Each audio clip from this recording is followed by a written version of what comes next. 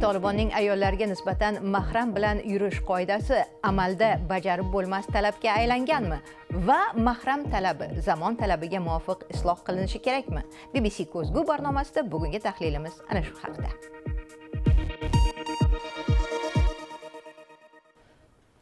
Hozirda afg'onistonlik ayollarning mahramsiz safar qilishlari uchoqqa chiqishlari yoda davlat idoralariga kirishlari man qilingan. Shariat qonunlariga qat'iy rioya qilishini aytib kelgan tolibon afg'on jamiyatida asrlardan beri mavjud bo'lib kelgan an'anani rioya qilinishi shart bo'lgan qonunga aylantirdi va yanada qat'iylashtirdi. Hozirda polis uzoq safarga chiqmagan ayollarni ham to'xtatib so'roqqa tutib uyga qaytishlariga majbur qilayotgan hollari tez tez ro'y berayotgani aytiladi. Dastlab vaziyat haqida tayyorlagan guzarishimiz bilan tanishing. Badafshonda bir erkak qarindoshimiz bilan milaga chiqqandik u juda qo'rqqandi ishqilib bir narsa bo'lmasin deb xavotirda edi toliblar uning yoqasidan olib bu ayollar bilan nima qilyapsan ularning kimi bo'lasan nima uchun ularni bu yerga olib kelding nimaga milaga keldinglar deb so'rashdi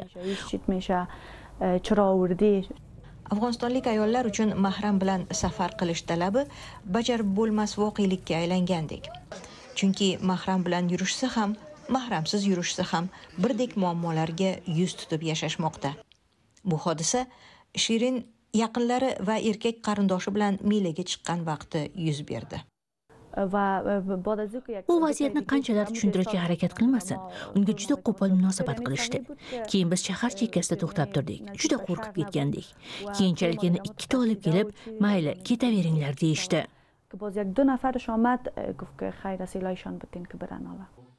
bu kabi munosabat shirin va singlisiga juda qattiq ta'sir qildi.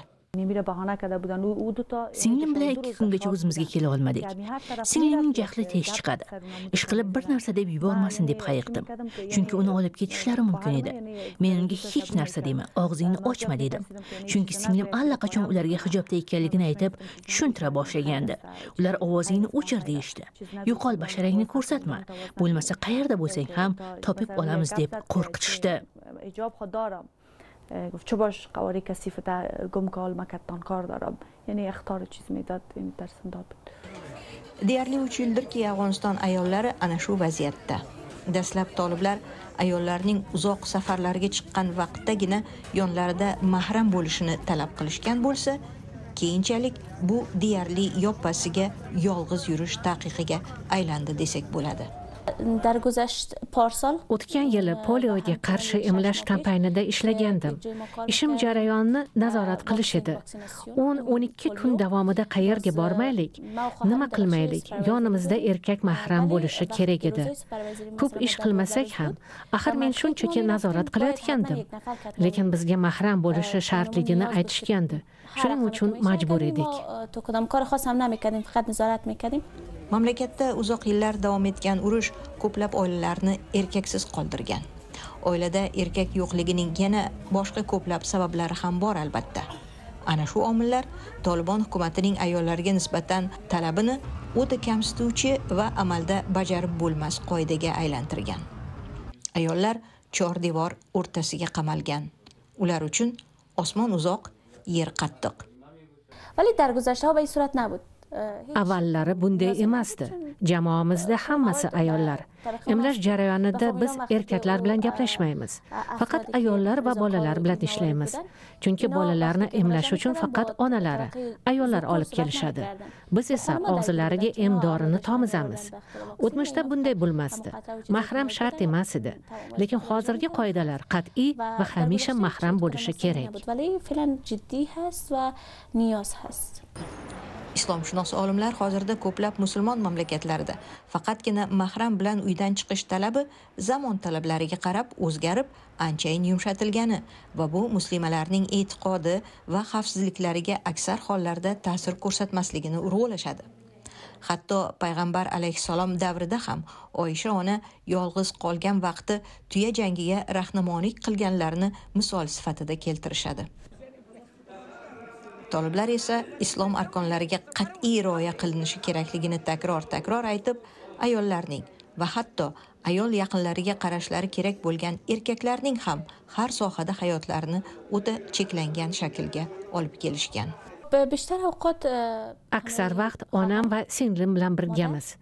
akam ko'pda yonimizda bo'la olmaydi ba'zi uyda lekin ba'zida kerak bo'lganda uyda bo'lmaydi axir u hamisha biz bilan birga bo'la olmaydi-ku.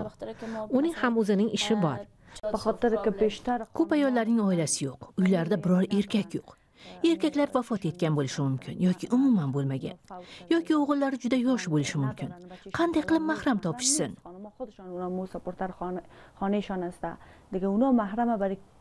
mahram demak guzarishimizda gapirgan ayollardan ayon bo'lishicha mahram bilan yurish talabi ularning kundalik hayotini o'ta mushkullashtirgan shunday ekan toliblar o'z siyosatlarini o'zgartirib isloh qilishlari kerakmi? Bu haqdagi suhbatga men islomiy masalalar bo'yicha mutaxassis hazratullo zakini da'vat qildim. Safarni mafhumi hozir ham az makon e, zamon suhulətlər salat farq qilibdi chunki sizga ma'lumki zamoni eskida bir kecha kunduzda yo uch kunda bir ko'p masofa bo'lsa ikki yuz ikki yuz ellik kilometr taymoqchi hozirda o'n soatga besh ming kilo inson safar qiladi shu shu zamon ham barobar bo'lmaydi chunki ko'p yaqin yana makon ham tag'ir qilib sobiqda masalan makoni yeru bari haligi masalan mas'uliyat yo'q edi amniyatda ham amniyatiy lihozdan ham hozirda tayyormadanlarga motorlarga va fardi kas safar qilmaydi hamma majmua bilan guruh bilan safar qiladi.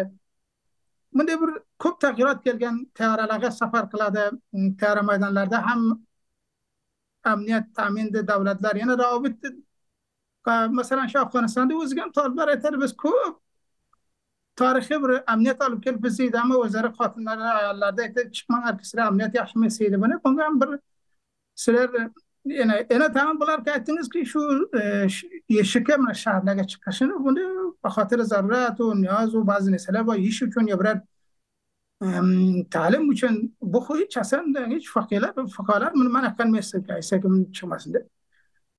Demak siz aytyapsizki mana ko'plab illatlar e, mahrab talab qiluvchi illatlar hozir yo'qolgan va hattoki e, biz masalan gaplashgan ayollar yaqin yerga uydan chiqsalar ham tolibon e, qo'riqchilari ularni to'xtatib mahram talab qilishyapti. Demak shu nuqtai nazardan tolibon mana shu mahram shartidan talabidan suiiste'mol qilyapti deb o'ylaysizmi?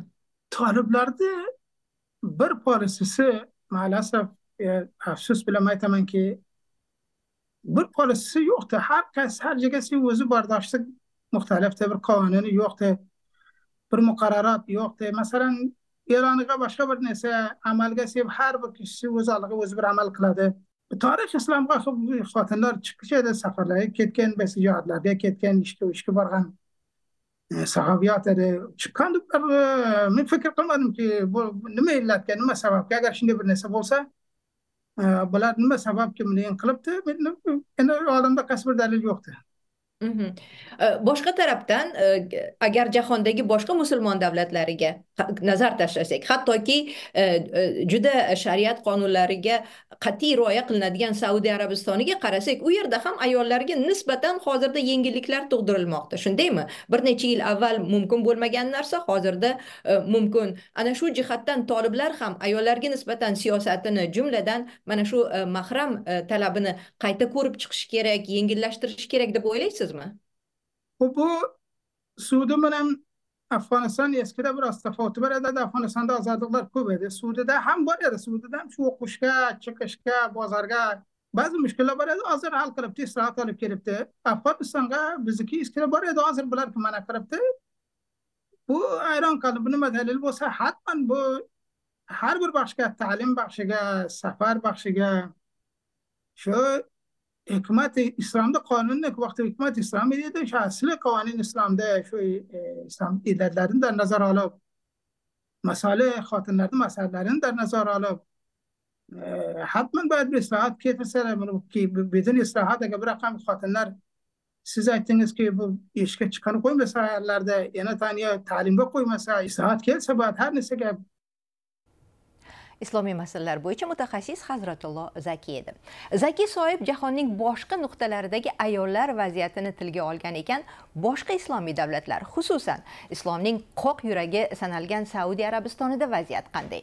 Hamkasbimiz gulsevar zamon saudiya arabistoni va qatar kabi davlatlarga bir necha marotaba safar qilgan va u yerdagi ayollar vaziyatini kuzatgan. Demak bu borada nimalar deya olasiz? Endi e, o'zingizga ma'lum avvalroq ham aytib o'tildi saudiya arabistoni ayollar e, haqlari sohasida juda ko'p e, erkinliklar juda ko'p islohotlarni amalga oshirdi. Masalan hatto umra va haj amallarini mahramsiz ado etishga ruxsat berildi. Bundan tashqari yigirma bir yoshga kirgan ayollarga vasiyning ruxsatisiz pasport olish va xorijga sayohat qilish imkoniyati berildi. Vasiylik masalasida yana ko'plab yengilliklar berilgani aytiladi. Bundan tashqari tashqari sport e, tadbirlarida ishtirok etish e, xalqaro musobaqalarda ishtirok etish imkoniyatlari berilgan ayollarga sport zallari ochilib fitness klublari ochilgan ayollar bemalol borib shug'ullanishlarini e, aytish mumkin bu sohada.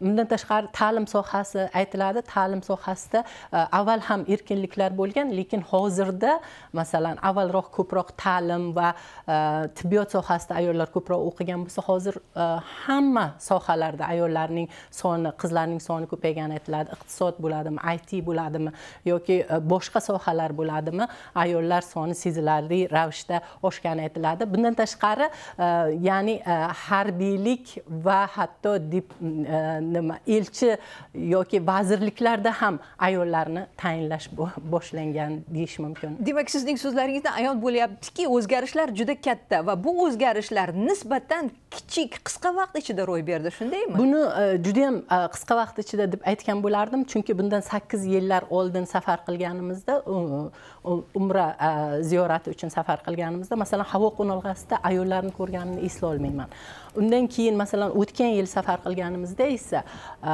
havo qo'nalg'asidanoq ayollar soni ko'payganini ko'rish mumkin. Pasport nazorat nuqtalarida yoki qator bilan biz makkadan madinaga safar qilganimizda o'sha qatorlar bekatlarida yoki e, qatorlarning ichida ham xizmat qilayotganlar ayollar ekanini ko'rishingiz e, mumkin bo'ladi. E, bundan tashqari savdo uchun biz savdo markaziga borganimizda u yerda ham ayollar bizga xizmat ko'rsatishdi. Masalan madina markazidagi savdo markazida joylashgan restoranlardan biriga o'tirganimizda ayollar xizmat ko'rsatganini ko'rib to'g'risi hayron bo'ldik. Shuning uchun aytishimiz mumkinki saudiya arabistonida juda ko'plab ayollar uchun erkinliklar berilayotganini ko'rish mumkin. Mhmm. Э, katta rahmat э, hamkasbim э, gulsevar zamon edi. Tolibonning ayollariga nisbatan mahram bilan yurish siyosatining qirralariga nazar tashladik. Siz londondan bbcni tomosha qilmoqdasiz.